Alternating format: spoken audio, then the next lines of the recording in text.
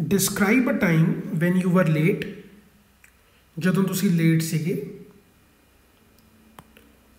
Van ਕਦੋਂ ਸੀ ਇਹ? Y ਕਿਉਂ ਲੇਟ ਸੀ? ਤੇ ਤੁਹਾਨੂੰ ਕਿਵੇਂ ਲੱਗਿਆ? How did you feel how you felt let's just try ਦੇਖਦੇ ਹਾਂ। In general I am a punctual and proactive person ਆਮ ਤੌਰ ਤੇ ਤਾਂ ਮੈਂ ਇੱਕ ਪੰਕਚੁਅਲ ਬੰਦਾ ਤੇ ਪ੍ਰੋਐਕਟਿਵ ਪਰਸਨ ਹਾਂ। ਪ੍ਰੋਐਕਟਿਵ ਹੁੰਦਾ ਜਿਹੜਾ ਟਾਈਮ ਤੋਂ ਪਹਿਲਾਂ ਹੀ ਕੰਮ ਕਰ ਲੇ। I do not like people who get late ਮੈਨੂੰ ਬੰਦੇ ਪਸੰਦ ਨਹੀਂ ਜਿਹੜੇ ਲੇਟ ਹੋ ਜਾਂਦੇ ਨੇ। We come across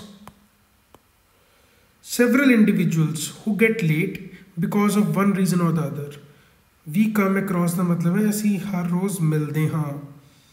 ਬਹੁਤ ਬੰਦਿਆਂ ਨੂੰ ਜਿਹੜੇ ਲੇਟ ਹੋ ਜਾਂਦੇ ਨੇ। ਇੱਕ ਕਾਰਨ ਦੇ ਕਰਕੇ ਭਾਵੇਂ ਕੋਈ ਹੋਰ ਰੀਜ਼ਨ ਹੋਵੇ। ਲੇਟਰ ਔਨ ਬਾਅਦ ਦੇ ਵਿੱਚ ਦੇ ਮੇਕ ਐਕਸਕਿਊਜ਼ਸ ਵਿਚ ਸਮਟਾਈਮਸ ਆਰ ਕੁਆਇਟ ਲੇਮ ਬਾਅਦ ਚ ਬਹਾਨੇ ਮਾਰਦੇ ਨੇ ਐਕਸਕਿਊਜ਼ ਬਣਾਉਂਦੇ ਨੇ, ਜਿਨ੍ਹਾਂ ਦਾ ਕੋਈ ਸਿਰ ਪੈਰ ਨਹੀਂ ਹੁੰਦਾ ਲੇਮ ਹੁੰਦੇ ਨੇ। ਵਨ ਫਾਈਨ ਟਾਈਮ ਇੱਕ ਇਹ ਜਿਹਾ ਹੀ ਸਮਾਂ ਸੀ ਆਈ ਟੂ ਗਾਟ ਲੇਟ ਮੈਂ ਵੀ ਲੇਟ ਹੋ ਗਿਆ and could not reach my college on time ਤੇ ਕਾਲਜ ਨਹੀਂ ਪਹੁੰਚ ਪਾਇਆ ਟਾਈਮ ਤੇ।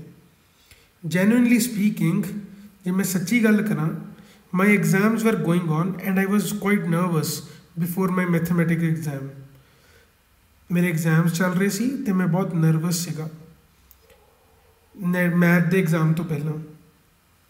A night before the exam, ਇੱਕ ਰਾਤ ਪਹਿਲਾਂ I I revising revising ever I had gone through during the preparatory holidays ਇੱਕ ਨਾਈਟ ਪਹਿਲਾਂ, ਇੱਕ ਰਾਤ ਪਹਿਲਾਂ ਮੈਂ ਸਾਰੀ ਚੀਜ਼ ਨੂੰ ਰਿਵਾਈਜ਼ ਕਰਨ ਲੱਗ ਗਿਆ।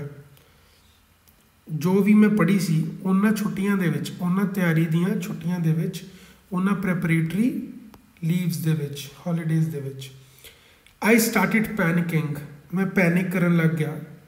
ਮੈਨੂੰ ਘਬਰਾਹਟ ਹੋਣ ਲੱਗੀ ਬੇਸਿਕਲੀ ਦੇਰ ਆਫਟਰ ਉਸ ਤੋਂ ਬਾਅਦ, ਉਸ ਤੋਂ ਬਾਅਦ ਜਦੋਂ ਮੈਂ ਰਿਵਾਈਜ਼ ਕਰਨ ਲੱਗ ਗਿਆ ਦੇਰ ਆਫਟਰ ਮਤਲਬ ਉਸ ਤੋਂ ਬਾਅਦ as I got into a zone ਕਿਉਂਕਿ ਮੈਂ ਇੱਕ ਜ਼ੋਨ ਚ ਆ ਗਿਆ ਇੱਕ ਪਾਰਟਿਕੂਲਰ ਮੇਰੇ ਫਰੇਮ ਆਫ ਮਾਈਂਡ ਉਦਾਂ ਦਾ ਹੋ ਗਿਆ in which I felt I knew nothing and would certainly fail ਤੇ ਮੈਨੂੰ ਐ ਲੱਗਣ ਲੱਗ ਪਿਆ ਕਿ ਮੈਨੂੰ ਕੁਝ ਨਹੀਂ ਆਉਂਦਾ no knew nothing and would certainly fail ਤੇ ਮੈਂ ਪੱਕਾ ਫੇਲ ਹੋਵਾਂਗਾ ਸਰਟਨਲੀ ਪੱਕਾ ਆਈ ਗਾਟ ਸੋ ਹਿਸਟੈਰੀਕਲ ਮੈਂ ਇੰਨਾ ਜ਼ਿਆਦਾ ਨਰਵਸ ਹੋ ਗਿਆ ਹਿਸਟੈਰੀਕਲ that I could not sleep on time ਕਿ ਮੈਂ ਟਾਈਮ ਤੇ ਸੋ ਹੀ ਨਹੀਂ ਪਾਇਆ। ਥਰੂ ਆਊਟ the ਨਾਈਟ ਸਾਰੀ ਰਾਤ ਰਾਤ ਦੇ ਦੌਰਾਨ I kept switching sides while I was trying to sleep ਮੈਂ ਕਦੇ ਇੱਧਰ ਕਰਵਟ ਬਦਲਦਾ ਸੀ ਤੇ ਕਦੇ ਉੱਧਰ। ਸਵਿਚਿੰਗ ਸਾਈਡਸ ਮਤਲਬ ਸਵਿਚ ਮਤਲਬ ਕਦੇ ਔਨ ਕਦੇ ਆਫ ਯਾਨੀ ਕਿ ਮੈਂ ਚੇਂਜ ਕਰਦਾ ਰਿਹਾ। I kept changing sides while I was trying to sleep ਜਦੋਂ ਮੈਂ ਸੌਣ ਦੀ ਕੋਸ਼ਿਸ਼ ਕਰ ਰਿਹਾ ਸੀ ਆਈ ਵਾਸ ਟੋਟਲੀ ਐਂਗਸ਼ੀਅਸ ਮੈਂ ਬਹੁਤ ਨਰਵਸ ਸੀਗਾ ਐਂਡ ਅਫਰੇਡ ਤੇ ਡਰਿਆ ਹੋਇਆ ਸੀ। And negative thoughts kept haunting me throughout the night ਤੇ 네ਗੇਟਿਵ ਮਾੜੇ ਖਿਆਲ ਥਾਟਸ ਮੈਨੂੰ ਸਾਰੀ ਰਾਤ ਆਈ ਗਏ, ਡਰਾਈ ਗਏ ਹੌਂਟ ਕਰੀ ਗਏ।